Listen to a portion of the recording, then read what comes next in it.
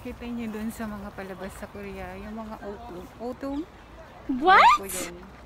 Yung mga dahon. Yun yung time na autumn in my heart. Super ganda.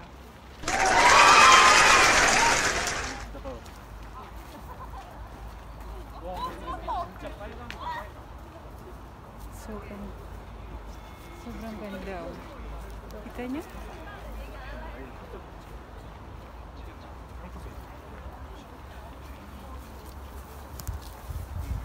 Yung panahon na talagang masasabi kong pinaka-paboritong season ng lahat. Kasi hindi siya mainit, hindi siya sobrang lamig. So, maganda siya sa pakiramdam. Tapos, ang ganda pa ng mga puno pagka ganito mo. Ayan o. Kahit yung mga Korean, kahit na na-experience na nito every every year. So parang namamangha pa rin sila. Parang gandang-ganda pa rin sila sa kanilang mga puno. Every year naman na-experience nila yan. Kahit kami, kasi ilang taon na rin kami dito sa Korea. So every year inaabangan din namin yung autumn. Kasi parang kumbaga sa pag-stress ka, tapos makita mo yan, lalabas ka ng bahay. Ang ganda, di ba?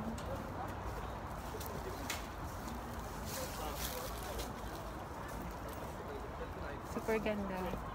Sana magkaroon ako ng isang puno ng ganyan sa bahay. Sa Pinas. Super ganda nito. Red na red siya. Ito oh. Yung puno na yun. Ganda. So, pagka ganito pong nagpo-picture, hindi ka po pwedeng makisingit. So, bibigyan mo po sila ng time para makapag-picture sila. Kahit, kahit sino po. Basta meron sila kasing etiquette na tinatawag, parang ganun. So, hindi tulad ng mga Pinoy na sisingit ka dyan, makikipicture ka sa kabilang side, sa ganito. Pero pag sa mga ganito likod-likod, okay lang. For video. Pero pag ganyan, tapos sisingit ka, hindi pwede. Or dadaan ka sa gitna habang nagkukuha sila. No, it's, hindi sila, hindi sila ganon. Magbibigay sila ng time para makapag-picture ka.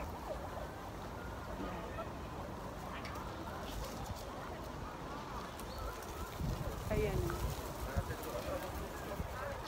Marami pa po yan. So ito lang yung puno na nakita ko na super red. Ito. Yeah.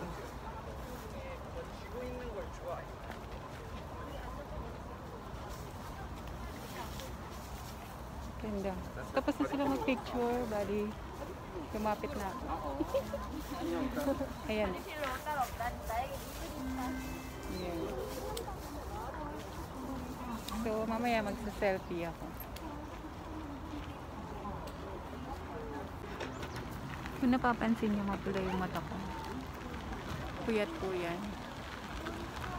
Ito po yung investment or ipon.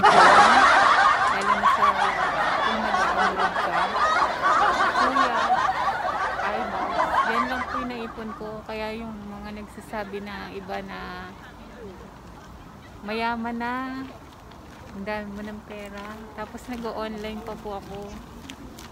Hindi nila alam yung hirap. Tulad ngayon po, hindi hindi dire-diretso yung trabaho. Minsan meron, minsan wala. Buti na lang yung mister ko, kahit pa paano, dire-diretso yung trabaho niya. Sa mga mga iba dyan na nagsasabi na sarap ng buhay dito sa abroad. Siyempre kailangan mo maging maging masaya dito sa abroad. Hindi pwedeng gusto gusto ba ng gusto nyo ba na makita nyo na nahihirapan yung na nahihirapan yung mga nag-a-abroad. Ayaw nyo bang ayaw nyo bang makita na masaya sila na nakakabili sila ng mga gusto nila, nakakapasyal sila sa mga gusto nilang puntahan, nakakakain sila ng masasarap. Kasi hindi naman yun parate. Minsan lang yun. Kapag ka walang pasok or pagka medyo malaking sahod, medyo binibigyan nila ng, binibigyan namin ng time yung sarili namin para naman kahit pa paano. Kaya, saka, pag nag-abroad ka, yung pagkain mo, minsan, sa isang linggo, puro prito, puro pinangat. Alam niyo yung pinangat, di ba? Pinangat lang init na, ganyan. Sa na luto ka na lang ng luto, di ba? Hindi kasi nila naiisip or na-experience pa. Lalo na yung mga hindi pa nakakapag-abroad.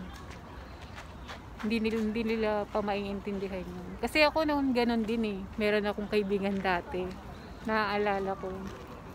Nauna siyang nakapag-abroad. So, sabi ko, Uy, camera naman dyan. Ngayon, nung nain, naintindihan ko, nung nakapag-abroad ako. Kasi, hindi pala biro talaga ang pag-abroad. Hanggang ngayon, buti na lang andito yung mister ko. Kung mag-isa lang ako, baka naisip ko, uwi na lang ako. Kaya bilib ako dun sa sa mga matatagang loob, lalo na sa party mga Middle East. Kasi dito sa Korea, medyo, kumbaga sa ano, maluwag pa eh. Hindi tulad sa ibang bansa na ganito, malaya kang makakalabas. Malaya kang makapunta kahit saan. Mabilis kang makapunta kahit saan. Hindi tulad sa ibang bansa na kapag nag-DH ka, doon ka lang, once a month may day off or swerte mo kung makapag day off ka every week yung iba wala pang day off. 'Di ba? So, saludo talaga ako sa mga ganun. Uh, kailangan talaga matatag ka. Kailangan ding parati mag-ingat ka. Kumain ng masustansya at matulog ng sapat.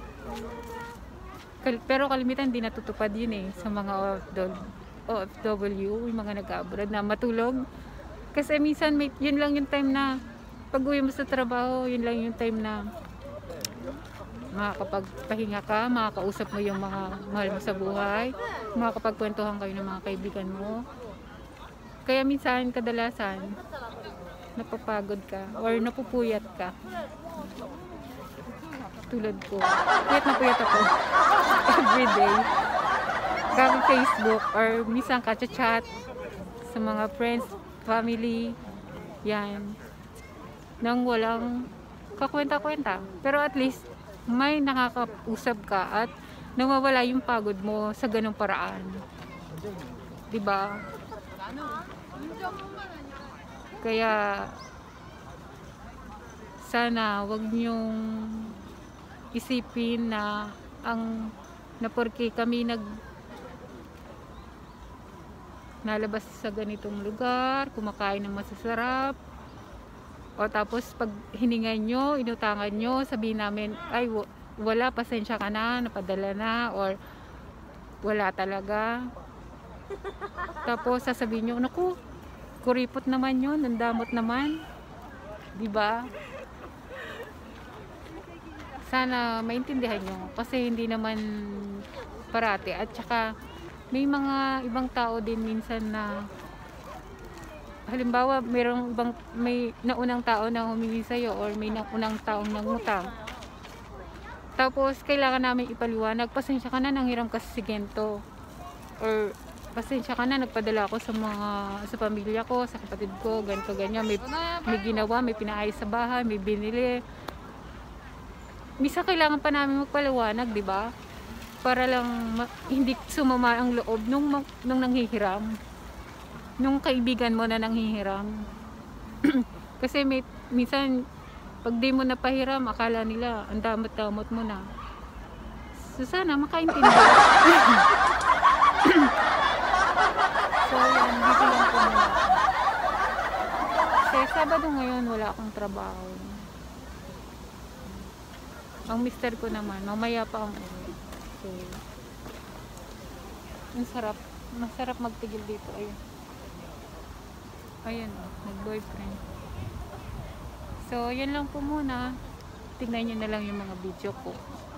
Para mawalan, matanggal-tanggal naman ang stress nyo. Okay, bye-bye!